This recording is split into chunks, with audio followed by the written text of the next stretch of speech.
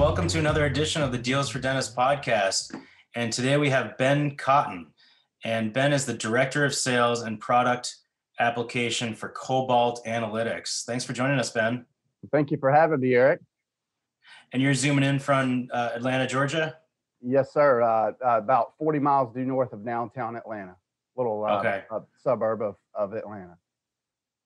Okay. If you go to dealsfordentist.com, you can find Cobalt Analytics promo offer, which is mention Deals for Dentists and get 10% off of pretty much all their services, uh, profitability analysis and PPO negotiating services. Um, so that's that's pretty cool. So um, so tell me about Cobalt Analytics and uh, how you help dentists. So we we look at naturally we we are in we negotiate for for PPO contracts for dentists, but we also like to look at the entire PPO mix, UCR, fee for service mix, kind of holistically, uh, because it's not just about the negotiation part. There's other situations where naturally the UCR standard fees could be raised in some cases. Uh, in some cases, there's you know the PPO contracts that might be advantageous for the practice owner to terminate or drop a PPO insurance, or maybe even add a profitable one that they don't currently have. And then there's also situations where the the UCR or the standard fee is actually less than what insurance would reimburse. Therefore, uh, in those cases, practice owners are leaving money on the table, and we're able to, to find those and quantify what all that means to to the practice owner. Um, I think what's kind of the, the big differences, other than looking at the entire picture of the PPO mix for the practice, is it's also we also look at it from the prop net profit perspective, net profitability of the actual insurance plan. So it's you've got the revenue or collections, but factoring in the expenses for the practice. So when we analyze PPOs to start with to get a baseline for a practice owner, we're actually we know what the revenue portion is and we know the percentage of that insurance to the entire practice, but we also know how much money the dentist is making off that particular insurance plan. Okay. So there's Now, how- a lot of information for sure. Well, it's it's a big puzzle. I mean, Yeah, dealing with insurance companies is is is a big puzzle, and um, you know, it's there's so much that goes into it. I mean, it's it's different if you're just opening up an office from scratch. If your your practice been around for you know 40 some odd years, like mine has. Um, if you're opening up another location, there's just so many factors that go into dealing with insurance companies and, and PPOs and in network, out of network. Um, so let's start with um, how you got into dentistry and um, um, and and Cobalt Analytics. So about seven years ago, I was in surgical device sales and I got recruited into uh, essentially practice management consulting.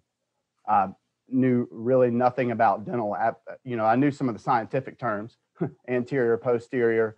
I knew where some of the teeth were. I, you know, had a kind of an understanding of occlusal and buccal and what all that meant, but knew nothing about the the business side of dental. Uh, but got recruited in and kind of had to kind of had to go trial by fire, not completely, but in a lot of specific situations that dentists face, um, whether it's leadership, uh, motivating their team members, uh, associates, selling practices, all the different accounting pieces.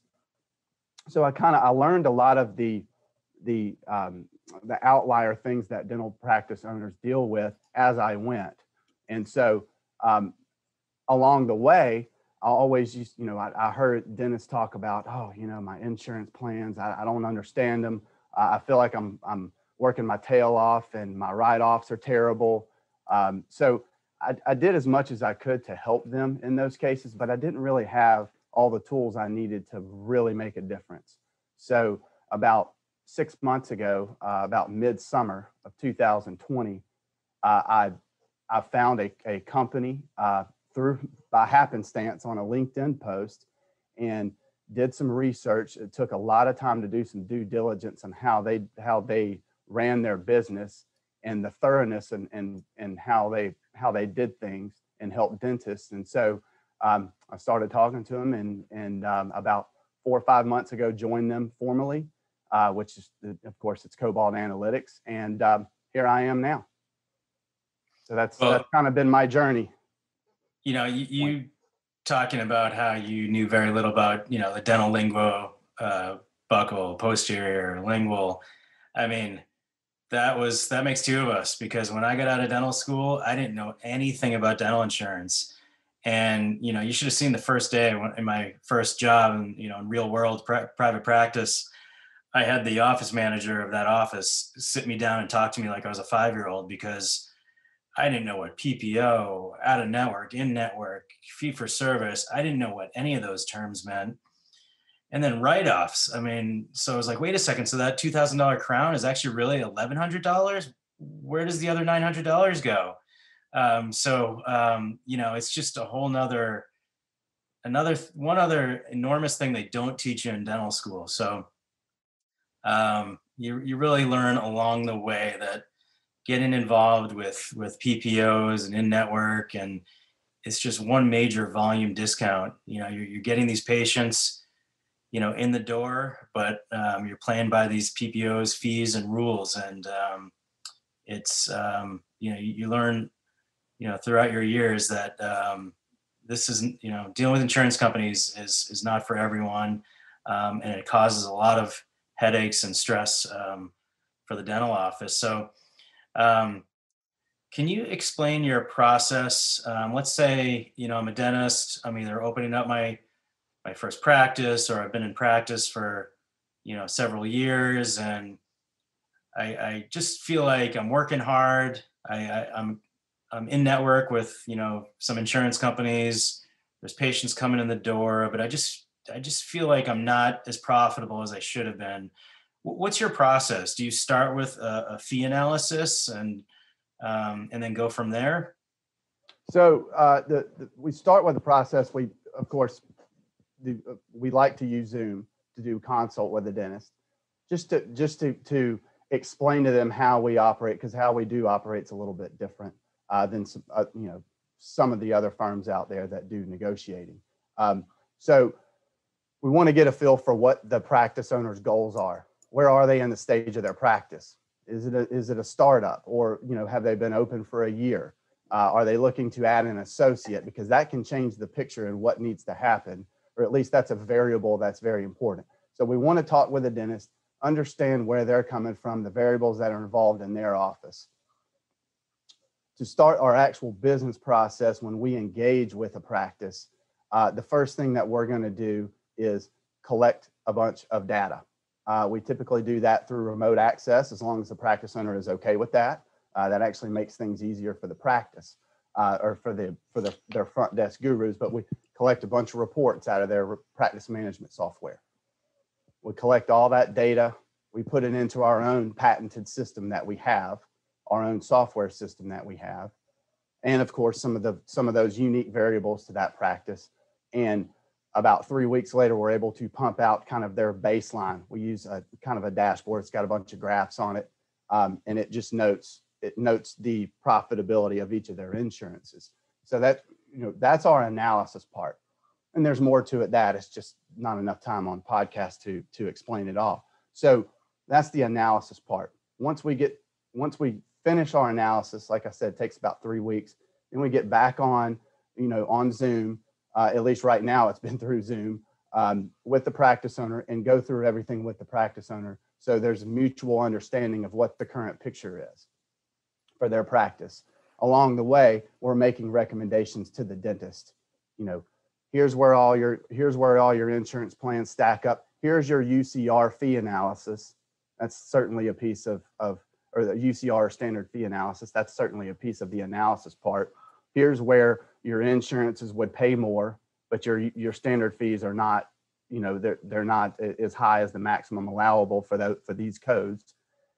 Once we get through that, we lay out kind of the strategy moving forward with regards to negotiation. So, you know, it, depending upon the practice and how, how many plans they have and which plans they are, which networks, you know, you've got connection, you know, networks like Connection and, and DenteMax and several others that that really can make things a little bit more complicated and you've got to understand how all those pieces of the puzzle are are, are are affecting you know the reimbursement rates for the for the practice. So we want to go through all the analysis part before we start negotiating, before we actually go to, uh, you know, helping the practices negotiate. And then after that, it's just a matter of helping them implement uh, any any um, any fee schedules that come back that are better and helping them make sure that they get they get put into place like they should. Okay, so you essentially start with consultation, uh, you know, get the goals of the office, because my goals of my office may be very different than the, the office down the street that just opened up. Um, you know, the, like a new scratch office, maybe just looking to get butts in the chair any way they can. And that could be through um, more PPO and network participation.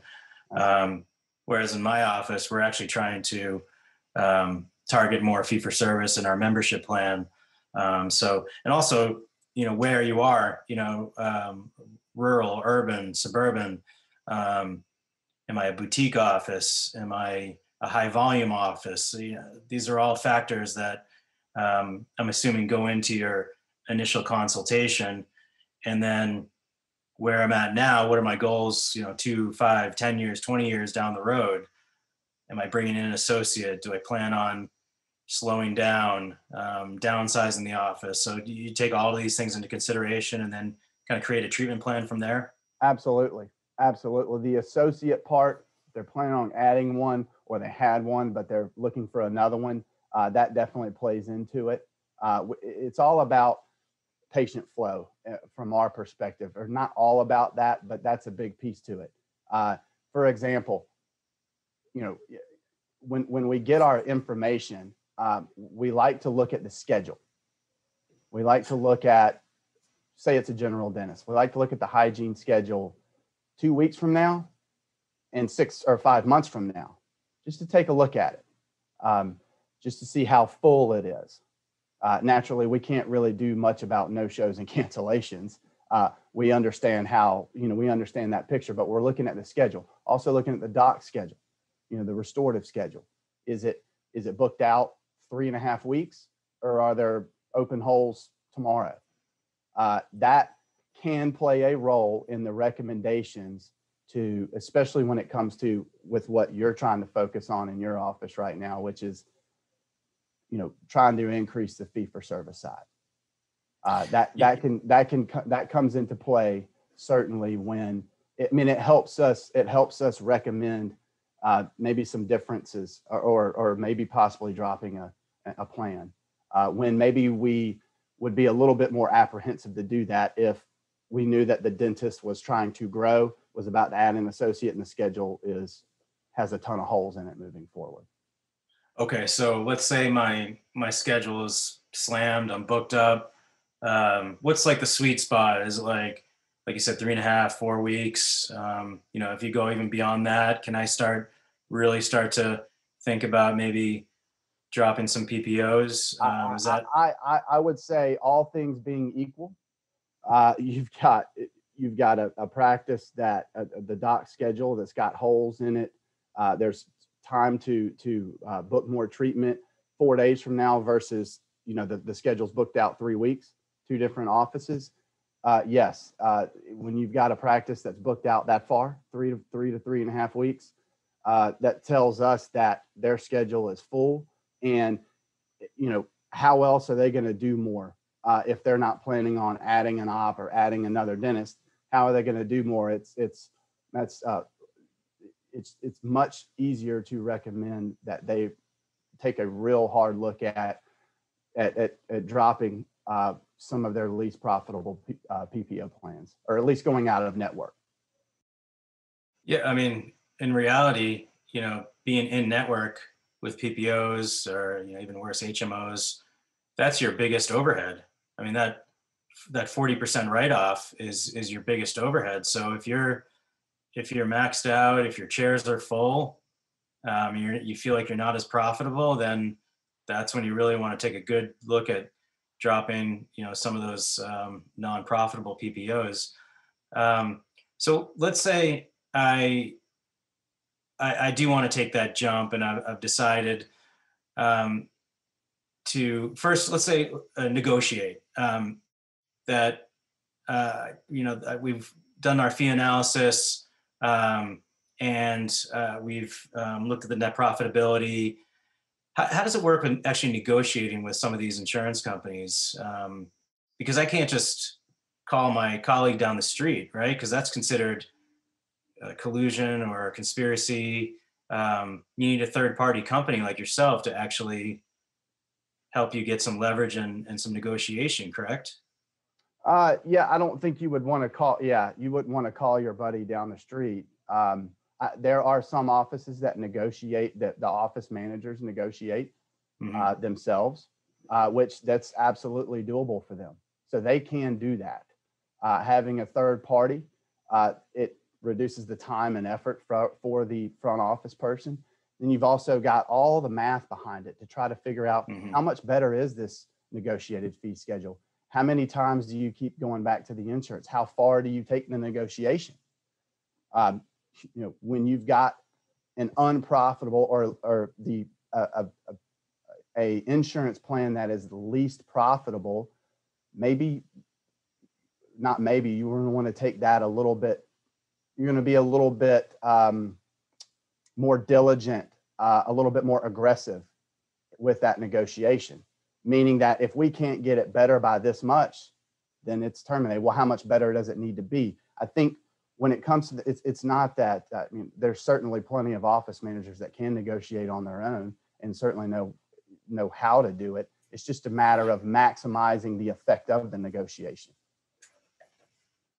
Now, when you say ter- uh, you know, terminate the plan, does that mean you're going out of network, or is is is that the you know, do I still have to, um, or can I just totally drop the insurance company? What, what's the difference between like totally dropping an insurance company and going from in network to out of So- network? When when I say drop or terminate, I'm I'm speaking of the contract.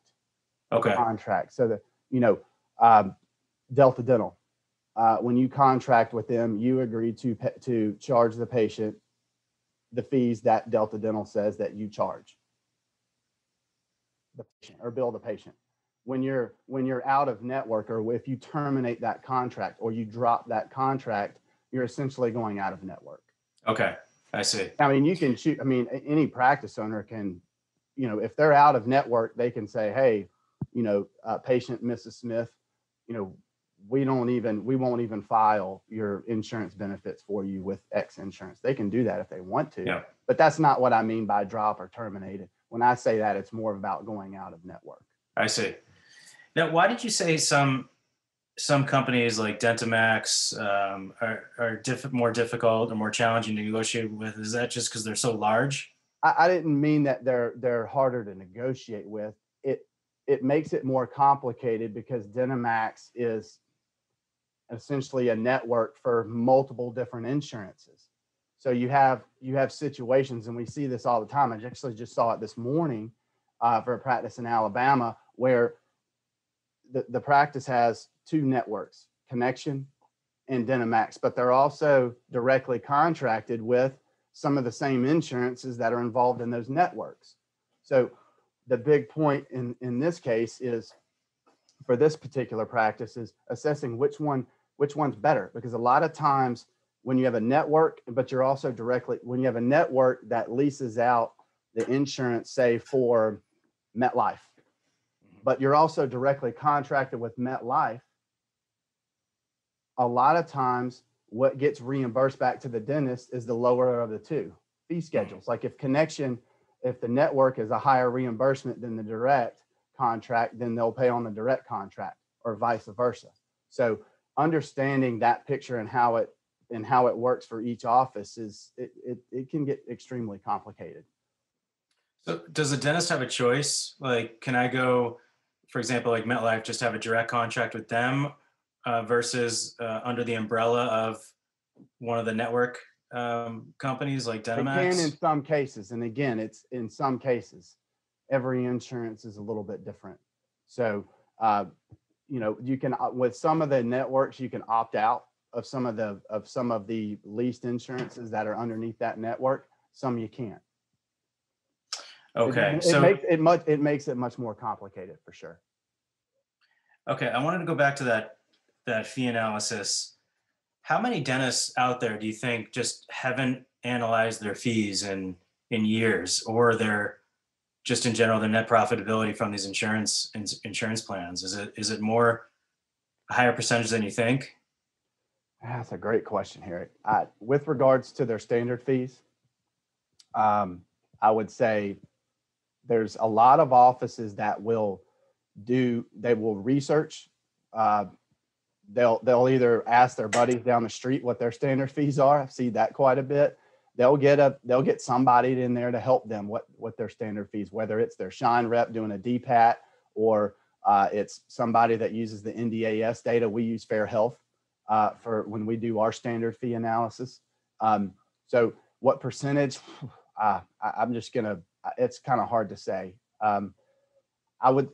I think four to five years. Uh, I'd probably say 50% of offices haven't even looked at their standard fees in, in four to five years.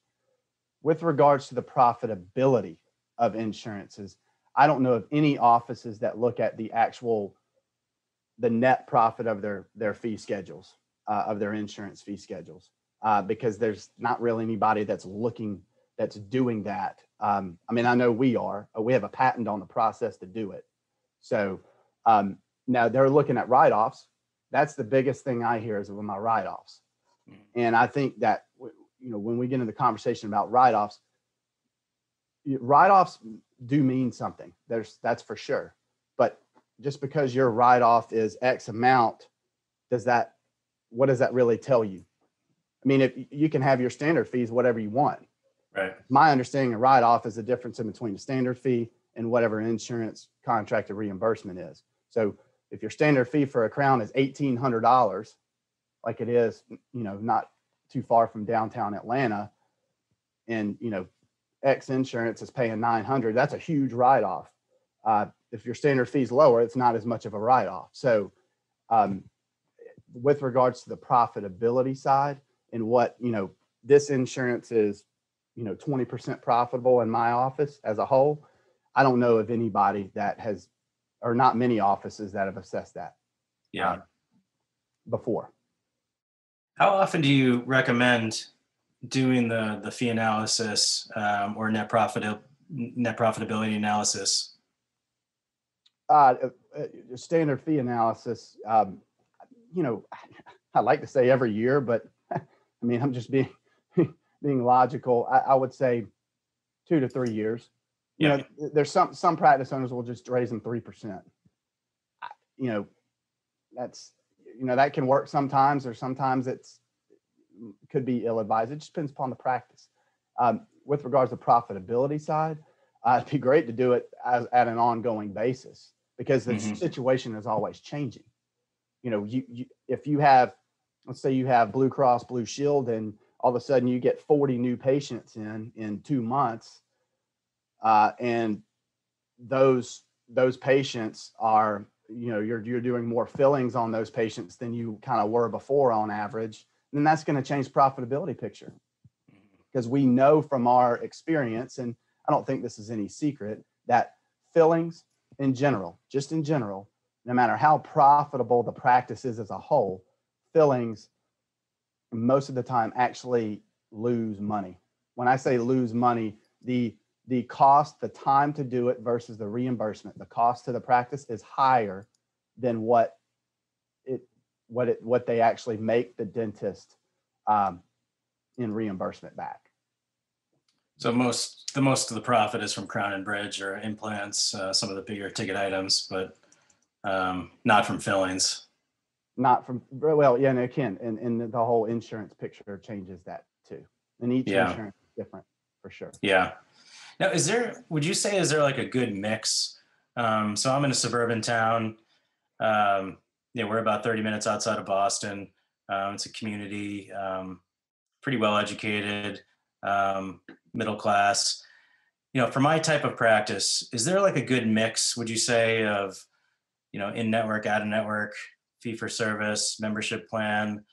I mean, right now we're, we're about, I'd say we're about 50% you know, in network. Um, the rest is either at a network or um, part of our membership plan. Is there like a, you know, like a, a good mix that you typically want to strive for um, as a, a solo practitioner? Oh, that is a tough question to answer. I think it all depends. My favorite answer is it depends. hmm They're naturally different geographies. Sometimes they're more insurance driven than others. Uh, I've noticed this in, like, for instance, in Utah.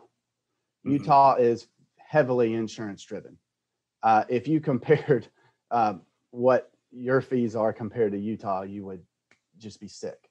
Um, Mhm. At least that's been my experience. Uh, Georgia is there's a little bit less pressure. I feel like uh, I see a lot of offices in Georgia that have about five PPOs. They don't have 15 hmm uh, I think, I mean, fifty percent, fifty percent fee for service is great. That's that's pretty good. Uh, I commend you for that. Uh, I don't think that there is a perfect answer. I think that if I were a practice owner, I would be trying to get as close to hundred percent fee for service as I could. Period. Uh, you know, I, I it's just because you're you're essentially not working as hard or not spending as much hours and making the same income, if not more. Yep. Uh, I would strive for that, and it's not about you know doing a disservice to to patients that have insurance.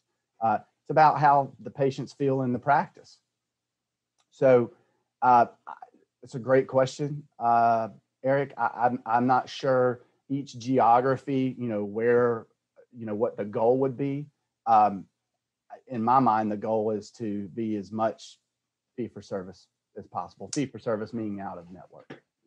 Yeah, I think that would be, you know, the ultimate goal. Um, and, you know, not be dependent on, on, you know, insurance companies. However, uh, you know, when you're coming out of school and you're $500,000 in debt and you're, you know, you're opening up an office, you just got to pay those bills and get patients in the chair. And, um, you know, no better way to do that than, you know, by signing up with, with insurance companies. But it's like signing a deal with the devil. You got to play by their rules and their fees. And, um, ultimately if you know if you're a young dentist and you can build up that patient rapport and that patient trust and build relationships then maybe you can start you know weeding these plans out and retaining these patients because that i you know to me when i talk to dentists that's the biggest fear is losing patients if i if i drop a plan or if i go out of network am i going to lose patients how many patients am i going to lose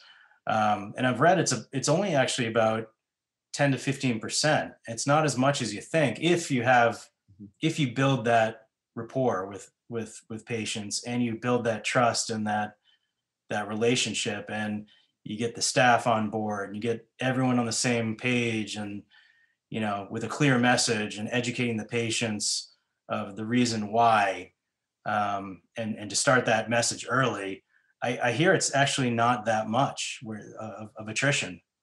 So, all right, yes, and and you know, back to back to uh, like I said, if I were a practice owner, I would be as much fee for service as possible. Naturally, if I was a practice owner, or most practice owners, and you've got, let- let's say you're a dentist, you've been, you've had uh, had your practice open for three years, you're doing everything right on the internals. New patients are going up. You're holding on to your to those patients. You've got good patient retention. At some point, you should you should be able to start to look at weeding them out, like you mentioned. Absolutely. Um, and it's fairly easy to do if you know how all your insurance matches, all your insurances match up. Uh, you start weeding out the ones that are the least profitable. Um, with regards to um, patient retention, when an insurance contract is is dropped or terminated, uh, I I'm on your I'm, on your side on that. Um, you know, there's a lot of practice owners I think that are worried that they're going to lose all their patients. Well, first of all, you know you're not they're not going to lose them all. It really does depend on what you said, which is the amount of trust and rapport that they've built with those patients over the years. It also matters when they do terminate how how they communicate that to the patient. Uh, what do they what do they say? Um, a couple of years ago, I worked with an office here locally in Atlanta where they wanted to knock off the only, um, or knock off, they wanted to terminate the only insurance contract they had, which happened to be uh, DD. and, um, and so we helped them do that. Uh, and so it can be done. Uh, I realize that certain geographies, it's a little bit different. Um, there's a little bit more worry. Uh, I'm with you. I, I would say a good rule of thumb or a good average, if a practice wants to use it, is they will retain probably 60, 60% or 70% of their patients. Mhm, I, you know, eh, but again, that's a variable thing. mhm. Um, I, I know some offices would retain more. Some offices might retain, they might lose more than that, than, than 40% of their patients. So Yeah, I mean, if you just, I don't have the data to be able to say that for a fact. I don't know if anybody does. yeah, you if you just get up and pull the plug on some of these insurance companies and, and go out of network and you don't kind of set the tone of that culture and get that message and educate the patients, you, you may lose more. So you got, this isn't something you can just do casually. You got to plan for this. Yes, you do. Um, Absolutely. Uh, you certainly don't want the patient to hear about it from the insurance company before they hear about it from you. Yeah. You're That's- all of a sudden, As a practice owner, that's number one. all of a sudden your your office is non-existent on the uh, insurance company's website. Um, you know that's that's not a good way for the for the patient to uh, to find out. Um, did did you find that a lot of more offices were going out of network during COVID and and and after COVID? Whew, that's tough to say. I think there's there's a push on either side. Uh, I think that the, the the offices that their schedules were full, the practices that were doing well, it was easier to do that. The practices that had major issues uh, already had issues with a ton of no shows and cancellations. Uh, they were having trouble filling their schedules to begin with before COVID. It's going to be harder for them to do that. Um, with regards to yeah, it's you know on, on our side of things, we've seen the same the same two different things going on. We've had some practice owners that are worried about spending money. They're looking at you know what we do and you know what we charge as an expense rather than investment. But then there's some practice owners are like, oh my gosh, you know my my reimbursements, uh, the fees that I'm getting, they're more important than ever because my patient load while my schedule's a little is, is fairly full, we're having to take a little bit more time. We can't see quite as many patients. Uh, it's more important than ever. Uh, so it's it's been interesting uh, that I've, I've, we've seen both. I've seen both sides of it, of the coin. And- when it comes to how practice owners feel. Yeah, we we during COVID that was one of the silver linings where we actually had the chance to to drop um, and go out of network with some of the plans. Now we're down to two, two um, in network. Um, what's what are you seeing out there? Like, are there some dental offices that are taking dozens of of insurance plans or, or um, in network with with dozens or more? Oh yeah, Yeah, absolutely, absolutely. And and I you know, I think it goes back to the the the the, the practice owner Mhm. and how much you know are, do they have do they understand what's going on in their practice? Are they paying attention to it? Um, you know some practice owners like yourself you're paying attention to it right? Uh, naturally you've got a business you're you're thinking about the business side. You've learned that or you had it you know before you even became a dentist. You kind of understood that uh, that you just to pay attention to it. Um, and you're doing the best you can with it. You're slowly you're doing it the right way. You're you're slowly weeding them out. Um, you're looking at that. Some practice owners don't they don't look at you know they don't even look at ar um, so it's just a matter of and that's just how you know it's how people operate. Uh, other physicians in general are like that too. Uh, my older brother is, is an orthopedic surgeon and he is very business savvy but there's other orthopedic surgeons they just they don't even care to even you know understand their own insurances and how they how how they affect them. So um, it's just it doesn't mean that there's anything severely wrong. Uh, it's just how practice owners you know look at it and their different level of what they're comfortable with business wise you know we're, so we, we're in network with two but we're we we are you know out of network with with multiple insurance companies. So i'm just thinking you know you know, the more insurance companies you add, you know, the more you know complex it can get and the more i feel like i would just feel like i would be losing control Hmm. um, over a good grasp of of the office. And then count in all the staff hours that's spent on verification and on the phone with these insurance companies. I mean you know patient benefit breakdowns and um, and all of that. I mean that's just so much time and energy spent um, but you know for some practices that may be you know fine for them. They're a high volume office they're adding associates or they're growing or they're multi-location that may be perfectly fine if that's their you know that's their philosophy. Um, so tell me about um, cobalt analytics. Um, and you mentioned uh, the, the, the um, unique software you, that you have. Um, uh, can you tell me about um, you know why it's so unique and um, um, is that something if i if i sign up with cobalt do i have a version of that software on my desktop um, or is that just something you use to, to analyze uh, the profitability and um, and help me make a plan? Um, can you explain that? So to uh, answer the last part of your question first, uh, the software that we have, we initially designed it for us Mhm. internally, uh, and we still use it internally. Uh, but it is available for dentists, practice owners to, uh, they can sign in, give them a username and log in, uh, and they can sign in and go look at all of their information on it uh, and play around with different scenarios themselves. Mhm. So the uniqueness of it is it is, you know, of course, I don't have a copy of it to show you, but it's it shows every single fee schedule uh, in the office and in a bar graph setting where it is profitability wise in relation to the app to the net profit of the entire practice. So yes, we are we are getting a P&L statement for a practice. We have to. Uh, that's certainly a piece of it. Um, noting the revenue of each, of each insurance and how it stacks up with each one of with uh, with the other plans. Uh, that that means a whole lot when it comes down to uh, what's going to happen in the negotiation or what are the results from negotiation. So they can see that.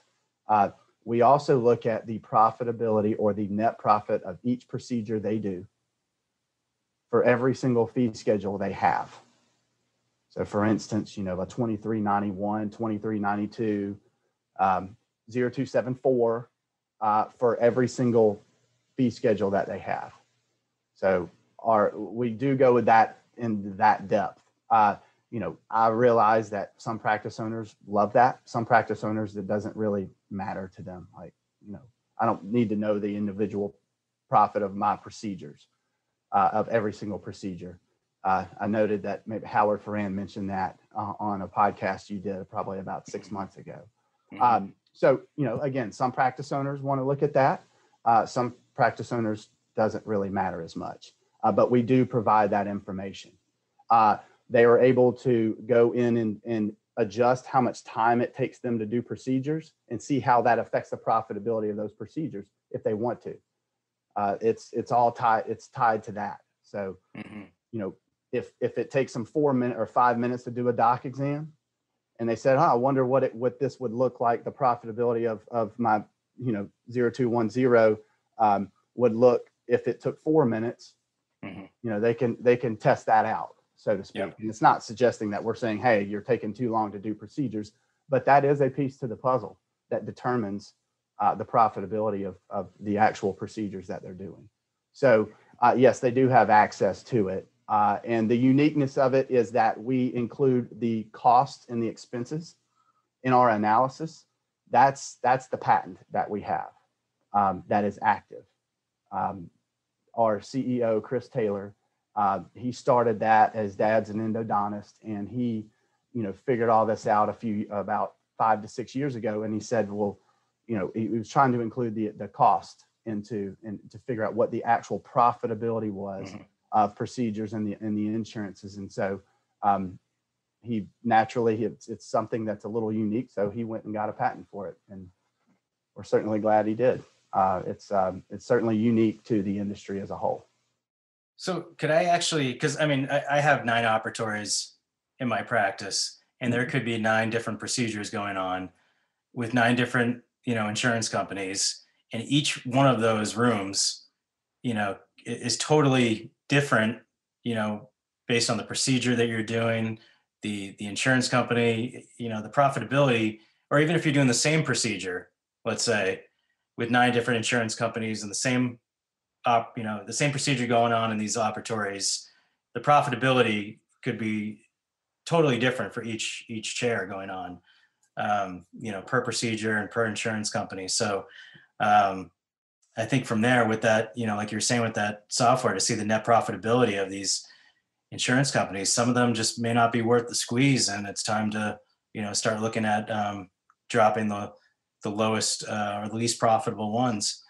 Um, now how, how does it work do you have uh, does cobalt have different packages um, for dentists, or is it just um, is it customized for each dentist? How, how does that work? So we, we mainly have two different packages. I, I, I, actually I should say three. Uh, the two different pieces of what we do that are they work together, but there also could be individual. Uh, are the analysis part only, just the analysis, not negotiation, and then there's negotiation. They could be lumped together. Uh, actually, most of the time they are because the analysis supports the negotiation. For us, on the negotiation side, we can't do the, we can't maximize the effects of negotiation without having the analysis part. I mean, we can do our own, we can do our own calculations, but it, it really helps to, to have the, uh, our, our, our analysis part. I, I mentioned earlier, our, our, uh, we use that software internally. That's when we built it that's what we built it as. And slowly and slowly uh, we are making it more user friendly for practice owners but it was built initially for for our own internal. So we if we take if, if we have a negotiated fee schedule we can just put it straight back into the software and it spits out exactly how much better that negotiation negotiated fee schedule is so there's two different pieces really. There's the analysis and the negotiation. They work hand in hand most of the time. Every now and again we'll have a practice owner that says well, i don't you know i just want to i just want you to negotiate. Okay well we can do that. Doesn't happen too often like that but we can do that part. We also have some practice owners that they just wanted the analysis part. And that's it. Uh, so we can do that separate as well. Okay. Now, does it does it differ for uh, how many you know plans I am in network with versus how many offices or locations I have? Um, you know, for someone that's a a solopreneur, you know, one office that's accepting um, in network for five plans versus another dentist who has 10 offices and they're in network with dozens of different plans. Is it more expensive? Uh, how do you how do you base your your pricing uh, for your packages? Okay, so yes, uh, single practitioner um, with 10 PPOs, five people, the number of PPOs doesn't matter for us Mhm. on, on, but the, the, the practitioners and the number of offices is, does play a role. Mhm. Naturally, if there's 10 offices, yeah, there's, there's going to be a lot more involved. Uh, cause we like to look at it by the office, not as a group of offices, at least on the analysis side. On the negotiation side, it, that can, there can be some variability there. Uh, so yes, uh, if if a, a dentist, if there's one location that has like six or seven practitioners, maybe they're multi-specialty as well. Uh, yeah, that the fee will go up some um, for that. Uh, our, we don't we don't really start adjusting the fee unless there's more than three docs or three three practitioners involved in a single office. For multiple offices, yeah, we like to look at it by the office because each office is going to be different. Right. Uh, so, you know, it doesn't mean that we charge the same amount for every office. You know, we'll, we're, we're going to give a little bit of a break for for a group for a, a group practice where they have multiple offices. We'll give a little bit of a break for the second and the third and the fourth office. Fifth Now, do- many ever they have. Do insurance companies do they set their fees based off of of zip code or uh, you know di- I'm sure different parts of the country are, are different, rural, suburban, urban. How, how does that work? How do how do insurance companies typically set their contracted fees? So there is certainly some, uh, there's different opinions on this. Uh, There can be some mystery on this as well. Uh, I know that uh, there are some algorithms that insurances use themselves uh, based on demographics. Uh, Different geo- geo- uh, geograph- geographic areas can be very different. Uh, We see this all the time. Um, Blue Cross Blue Shield, uh, you know, it's no secret that it's typically the contracted fees in Alabama are lower than somewhere like North Carolina. Um, it's just just how it works. Delta is is is the same as well. So how they set their fees, uh, it's demographics uh, for the most part, uh, and in the geography of of where they are. That's kind of the the typical way that we've seen it. We've seen it happen, but there's still you know uh, there's still some there's a little bit of mystery there too on And- and is exactly there- how they do it. Is there a power in numbers? So for a DSO that has, you know, 900 offices versus, you know, a small mom and pop practice, you know, in, in somewhere uh, rural, is, does that DSO just have so much more leverage in, in negotiating? I, I think this it, it does it does matter. Uh, Mhm. Doesn't mean it's a hundred percent of the equation, but it does matter. Uh, we see that it it it helps if even if a practice in um, in, in an area that if they're doing you know two and a half or three million dollars in revenue, uh, they do tend to have a little bit more leverage than an office doing four hundred thousand dollars in revenue. Now, is, is negotiating a one-time thing or do you do it, you know, try to do it yearly or, or how does that work? Uh, you can do it yearly. Uh, from our experience, it, it doesn't mean that insurances won't negotiate every year, but the chances that they will negotiate every year is diminishes. Uh, Mhm. if, if you know if you negotiate with an insurance a year later, you go back to them, the chances that they're going to say yes is lower than if the practice hasn't negotiated in you know a few years for sure. Yeah, yeah. I mean, like I said, it doesn't mean that they won't. It's just, you know, from what we see, it's not, uh, it, it doesn't happen as often. Okay. So let's say, you know, I've, I've planned this right. I've, you know, I've spread the word to the staff. I got the staff on board. We started this early with, you know, the educating the patients and I, I'm going to pull the plug. Um, you know, in my office, we have our own membership plan. Mhm. Can you help an office um, with setting that up? Um, or is that part of your services as well? Because it, I find it to be such a great thing to have. It's such a great alternative for patients that either you know don't have insurance, they lost their insurance, they retired, you know, they're a small business. Um, so I find it to be such a great alternative to to keep the patient in the practice. Um, do you help dentists with that as well? So we, I, I agree. First of all, I agree that in-office dental plans, dental savings plans, VIP memberships, whatever you want to call them, they are phenomenal. Uh, you know, absolutely phenomenal. Uh, you're helping out the patients that don't have insurance, and you're also hopefully showing patients that are on insurance that what you have is actually better for them in a lot of cases. So we don't actually help practices set the in-office dental plan up or market it. What we do is we help them price it where they want it to be. hmm Because what what and this is this has happened a lot recently um, with some offices that have Kleer that use Kleer for their in-office dental memberships. Um, we're able to go and, and take a look at what they have, how they're how it's set up, the pricing. Um, you know, the yearly fee or the monthly for the preventative that they have, as well as the discount on the restorative procedures or whatever else.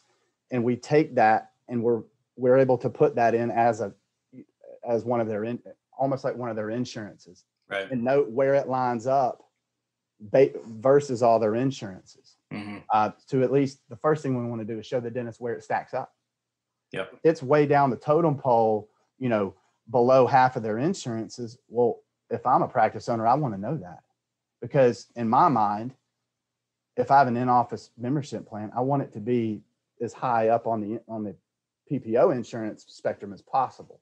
Yeah. Uh, no, it's not going to be there at, at at the level of standard fees or UCR, but you know, you, you, you- know, it's a dance there. Um, Mhm. you want to make sure that patients want to sign up with it and you're a little bit price conscious, but not a ton. Um, therefore, it's, it, it- it's not maximizing what, what the practice owner wants it to do. So we, we analyze the, the in-office membership plans based on the pricing solely. And Yes, we'll give almost- recommendations on, on, you know, if they were to change their in-office dental plan pricing, this is what it will do. Okay. This So is how you're- much you're- more profitable it would be. So you're, you're helping um, guide them and you're almost pretending like it's uh, and you know almost like an out of network um, insurance plan. That's that's Um, exactly right. That's how we assess it. All right, Ben, thanks so much. Again, Ben Cotton, Director of Sales and Product Application at Cobalt Analytics. And you can go to Deals for Dentists and find their promo offer, which is 10% off of their profitability analysis and negotiation, um, which is pretty much 10% off their services. Um, ben, th- thanks so much for joining us. That was really informative. Thank you, Eric, and, and thank you for what you're doing for the industry. And I'm looking forward to, uh, to hearing more about your book soon. Okay, sounds good, Ben. Let's be in touch. It sounds good. Take care. Okay, take care. All right.